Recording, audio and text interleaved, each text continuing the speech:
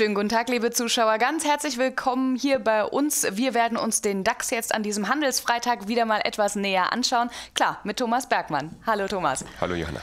Es sah ja am Anfang der Woche wirklich bitter aus, aber so sukzessive hat man sich dann in dem, zum Ende der Woche hin wieder etwas gefangen. Stabilisiert kann man sagen. Wir sind wieder etwas fester über der 12.000 Punkte Marke. Kann man jetzt beruhigt ins Wochenende gehen? Beruhigter, sag okay. ich mal. Also äh, wir haben ja diese ominöse 200-Tage-Linie immer noch sehr im Blick. Vielleicht können wir da auch gleich drauf gehen. Ähm, genau. Und jetzt, wir sind jetzt wieder etwas mehr darüber. 12.023 ist der aktuelle Verlauf der 200-Tage-Linie. Jetzt eben mal 70 Punkte Abstand. Aber wir wissen beide, das ist ein Klacks da, mal kurze Schwäche, ein, ein Algorithmus, der da läuft und wir stehen drunter und dann wird es wieder schnell ungemütlich, weil dann wieder Stop-Loss-Orders ausgeführt werden. Also da muss man schon noch auf der Hut sein. Äh, auch der Abwärtstrend, der kurzfristige, ist noch intakt. Auch da nähern wir uns einer Ausbruchsmarke an. Fehlen vielleicht noch 40, 50 Punkte. Aber wie ich schon mehrfach in der Sendung gesagt habe, hier im Bereich der 12320, das ist so die Marke, die es zu überwinden gilt. Dann würde ich sagen, jetzt mal raus aus den Stops, äh, aus den Shorts und da kann man ruhig mal die Seite auch wieder wechseln, weil dann das Chance-Risiko-Verhältnis deutlich besser ist als jetzt in dem Moment. Aber lieber Thomas, ich habe mich natürlich vorbereitet, habe mich eingelesen in deine Reports, in deine Berichte und ähm, was du auch schreibst, ist Vorsicht, der September ist ja eigentlich statistisch der gar nicht so gute Börsenmonat. Sollte man da nicht ein bisschen Vorsicht weiter walten lassen? Genau, das wird auch vielen Anlegern im Hinterkopf äh, haben. Natürlich bestätigen Ausnahmen die Regel, auch das wissen wir. Aber ähm, klar, der September ist der statistisch betrachtet schlechteste Börsenmonat. Mhm. Wir haben heute den 1. September, also werden das viele schon mal auf der Agenda haben.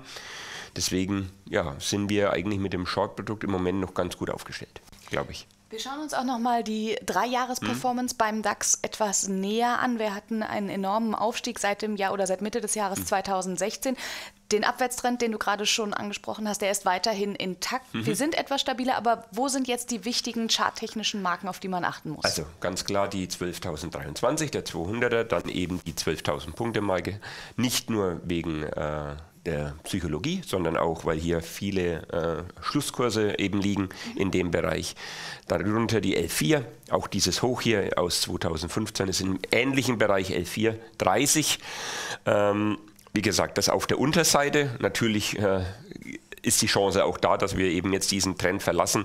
11.320 ganz wichtig. Ja, und dann sieht man auch hier schon im Chart, letztendlich ist es dann dieses äh, Doppeltop, also sprich die alten Hochs.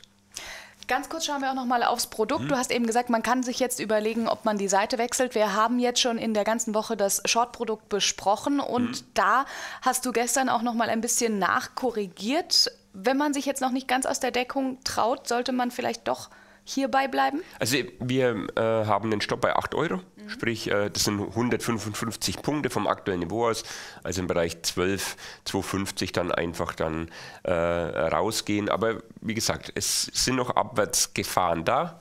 Das Risiko ist da, dass wir nach unten wegbrechen. Deswegen noch halten, Stopp setzen, laufen lassen. Danke dir, Thomas, für die Analyse. Gerne. Liebe Zuschauer, Sie haben es gehört, etwas beruhigter können Sie auf jeden Fall in das Wochenende gehen. Wir wünschen Ihnen auf jeden Fall ein wunderschönes Wochenende und freuen uns auch in der nächsten Woche wieder auf Sie.